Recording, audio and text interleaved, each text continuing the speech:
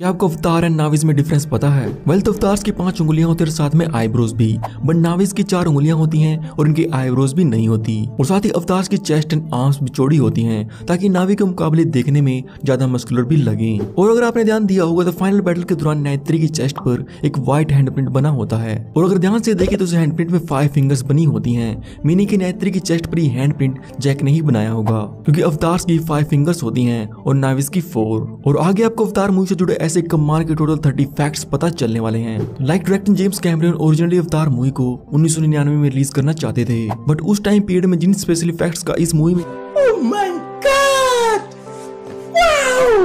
Movie में use किया जाता तो उससे अवतार मूवी का बजट 400 मिलियन डॉलर हो गया था। और कोई भी स्टूडियो कैमरन को उस टाइम इतना फंड देने के लिए तैयार नहीं था, जिसके बाद इन्हें इस मूवी को बनाने के लिए अच्छा ठीक है।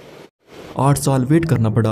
पर जेम्स कैमरून ने अवतार मूवी पर उन्नीस में ही काम करना शुरू कर दिया था और फिर Lord of the Rings movie में गोलम को देखने के बाद कैमरियन को लगा कि अब सीजीआई एंड वीएफएक्स टेक्नोलॉजी इतनी प्रोग्रेस हो गई है कि वो इस मूवी को बना सके। और फिर अवतार की शूटिंग कंप्लीट होने के बाद इस मूवी के विजुअल एंड सीजीआई इफेक्ट्स को कंप्लीट करने में चार साल लगे थे। एंड अवतार मूवी की शूटिंग से पहले डायरेक्टर जेम्स कैमरन इस मूवी के कास्ट एंड क्रू मेंबर्स को दो दिन के लिए हवाई के जंगलों में लेकर गए थे, ताकि ये सभी अपने अपने रोल्स के लिए प्रिपेयर हो सके और इन्हें एक आइडिया लग जाए कि इनके कैरेक्टर मूवी में कैसे इन्वायरमेंट में रहने वाले हैं? क्योंकि फिल्मिंग सेट पर ये सभी सीजीआई से किया जाना था। और इस ट्रैकिंग के दौरान इन सभी एक्टर्स को, इनके कैरेक्टर्स के हिसाब से कॉस्ट्यूम्स पहनाकर इनसे सीन्स भी करवाए गए थे। एंड एक्ट्रेस जोई सैलेडानो को अपने कैरेक्टर यानी नैत्री के हिसाब से एक एलियन टेल भी पहननी पड़ी थी। एंड मूवी में जितने भी एक्टर्स ने अवतार एंड नाइफ्स को प्ले किया है तो उनके लिए स्पेशल हेलमेट्स तैयार किए गए थे, जिसमें लग कैमरा की मदद से इन सभी क्लोजअप्स एंड फेशियल एक्सप्रेशन को कैप्चर किया जाता था स्पेशली इनकी आईज को। एंड नैत्री के सभी सीन्स को एक्ट्रेस जोई सैलेडान ने खुद ही परफॉर्म किया था, और उनके हर एक सीन को कैप्चर करने और फिर उसे कम्प्लीटली नायत्री में ट्रांसफॉर्म करने के लिए लगभग एक साल लगा था। और साथ ही इस मूवी के लिए स्पेशली एक वर्चुअल कैमरा क्रिएट किया गया था, जिसमें जेम्स कैमरियन रियल टाइम में फिल्मिंग के टाइम एक्टर्स को इनके अवतार फॉर्म में देख सकते थे, जो की बहुत ही एडवांस था। और साथ ही एक्टर्स के सीन्स के बाद उन्हें दिखाया जाता था की उनकी परफॉर्मेंस अवतार फॉर्म में कैसी लग रही है। एंड मूवी में नामी पीपल्स को जितने डिफरेंट टाइप के क्लोथ में दिखाया गया है तो इनको इस मूवी में दिखाने से पहले हर एक पीस ऑफ़ क्लोथ को प्रैक्टिकली तैयार किया गया था, जो कि टोटली हैंडमेड थे, जिनको बनाने के बाद इन्हें कुछ स्टैंडिंग एक्टर्स पर ट्राई किया जाता था ये सभी क्लोथिंग डिज़ाइन मूवी के अंदर देखने में कैसे लगेंगे, जिसके बाद इन क्लोथ को मूवी में सीजीआई से क्रिएट किया जाता था। एंड मूवी में नायत्री जिस टाइप के कॉस्ट्यूम्स पहनती है तो इन्हें टाप राबो कहा जाता है, जो कि मियान कल्चर से इंस्पायर थी। एंड नाव इसके कैरेक्टर डिज़ाइन और इन्हें कैसे तैयार किया गया था, इसके बारे में तो आगे बात होगी ही बट जानते हैं पहले एक्टर सैम वॉथिंगटन के बारे में। क्योंकि शायद ही आप में से किसी को पता हो कि अवतार मूवी के ऑडिशनिंग के टाइम सैम वॉथिंगटन अपनी कार में रहते थे, क्योंकि इनके पास रहने के लिए प्रॉपर हाउस भी नहीं था। और जब इन्हें जैक सूली के ऑडिशन के लिए बुलाया गया था तो उस टाइम वॉथिंगटन को इस मूवी स्क्रिप्ट और डायरेक्टर कौन होने वाला है, कुछ भी बताया नहीं गया था, जिससे कि बहुत ही ज़्यादा डिसअपॉइंट हुए थे। एंड ऑडिशन के बाद जब सैम वॉथिंगटन को जैक सूली के रोल के लिए सिलेक्ट किया गया था तो उससे फोक स्टूडियो बिल्कुल भी खुश नहीं था, क्योंकि जैसा कि इस मूवी का बजट था तो उस हिसाब से वो इस मूवी में एक जाने माने और बिग स्टार को कास्ट करना चाहते थे, जिनमें एक्टर मैट डीमन को भी ये रोल ऑफ़र किया गया था। जिसके बाद कैमरियो ने फोक्स को कन्विंस करने के लिए वॉशिंगटन के साथ ही टेस्ट फुटेज तैयार की थी, ताकि वो उन्हें कन्विंस कर सके। We will send them a message. That they cannot take whatever they want. And that this, this is our land.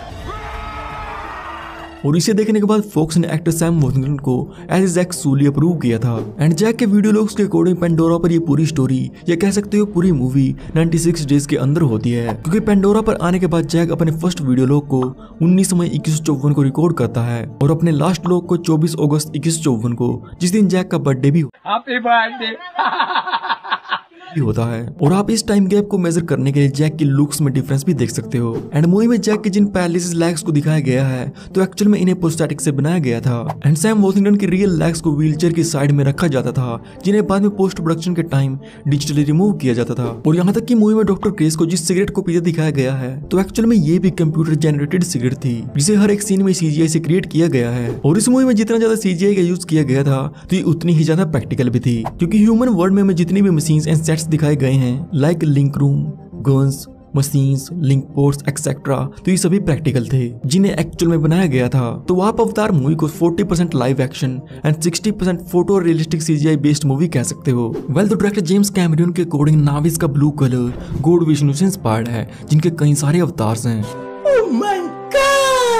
इससे कि आई थिंक इस मूवी का टाइटल भी इंस्पायर्ड है और अवतार एक संस्कृत वर्ड है, जिसका मीनिंग इनकारनेशन होता है। जिसे रिप्रेजेंट करते हुए मूवी के एंड में जैक सूली को उसकी ह्यूमन बॉडी से नावी बॉडी में री होते दिखाया गया है। और मूवी में दिखाई गई नावी लैंग्वेज को स्पेशली इसी मूवी के लिए क्रिएट किया गया था, जिसके लिए जेम्स कैमरियन ने डॉक्टर पॉल फ्रोमर को हायर किया था, जिन्होंने नावी लैंग्वेज के around one thousand words create किए थे, जो कि किसी भी ह्यूमन लैंग्वेज से टोटली डिफरेंट थे। एंड अवतार मूवी पर वर्ल्ड के टॉप ट्वेंटी क्रिएचर डिजाइनर्स ने मिलकर काम किया था, जिसमें इन्होंने design landscape design hardware AMP suits और यहाँ तक कि हेलीकॉप्टर्स को भी डिज़ाइन किया था और इन सभी के सिर्फ़ डिज़ाइन को तैयार करने में 18 महीने लगे थे, जिसमें पेंडोरा पर दिखाए गए सभी क्रीचर्स को सिक्स लेगेड दिखाया गया है और साथ ही सभी एक्टर्स को उनके परफेक्ट अवतार फॉर्म में दिखाने के लिए इन सभी को एक हैवी मेकअप प्रोसेस से भी गुजरना पड़ता था, जिसमें इनकी अपर बॉडी को प्लास्टर टाइप प्रोस्थेटिक से कवर करके एक लाइफ कास्ट प्रोसेस किया जाता था, जिसके बाद इनका थ्री स्कैन करके हर एक एक्टर के माउथ एंड आईज वाले फीचर्स को इनके अवतार फेसेस में ब्लेंड किया गया था,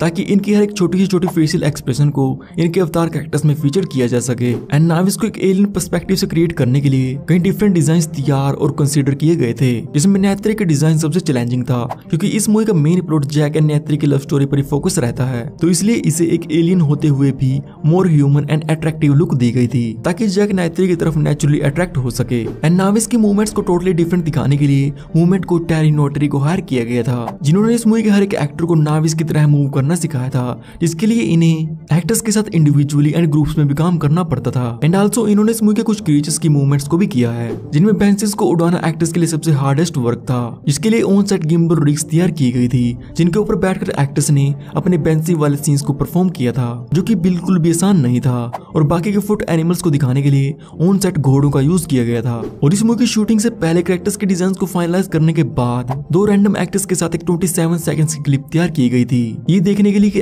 कैरेक्टर्स फाइनल मूवी में कैसे लगेंगे? You not fear you strong heart but stupid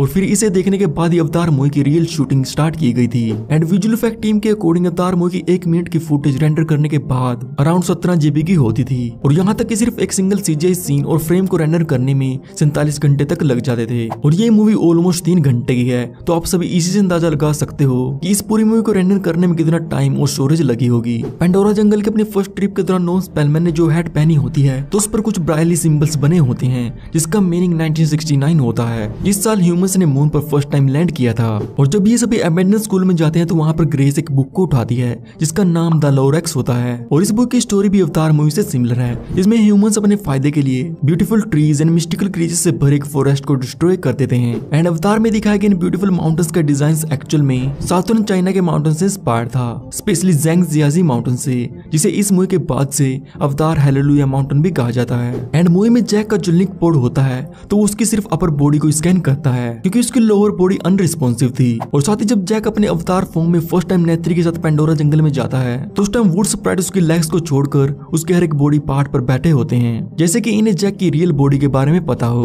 और शायद ही आप में से किसी को पता हो बट इस मूवी में एक मास्टरबेशन जोक भी है, क्योंकि मूवी के स्टार्टिंग में जब जैक फ़र्स्ट टाइम अपने अवतार बॉडी में अपनी पोनीटेल को देख रहा होता है तो उस टाइम डॉक्टर ऑगस्टीन उसे कहती है कितनी अजीब बात है। तो ये कॉमन जोक है, जिसमें टीनेज बच्चों मेनली बॉयज़ को कहा जाता है कि अगर वो ज़्यादा हिलाएँगे तो उनकी आँखें कमज़ोर हो जाएँगी।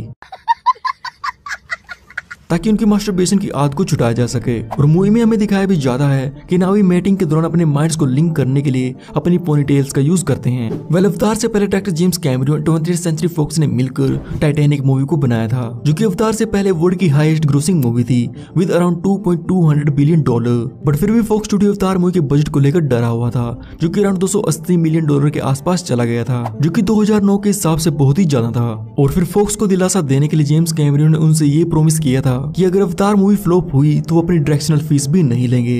And now it's the highest grossing movie of the world और अगर आपको Black Panther Wakanda Forever movie से जुड़े ऐसे कमाल के 30 फैक्ट्स के बारे में जानना है तो आप सब मेरी इस वीडियो को ज़रूर देखना। इसमें मैंने इस मूवी के हिडन डिटेल्स वकांडा एंड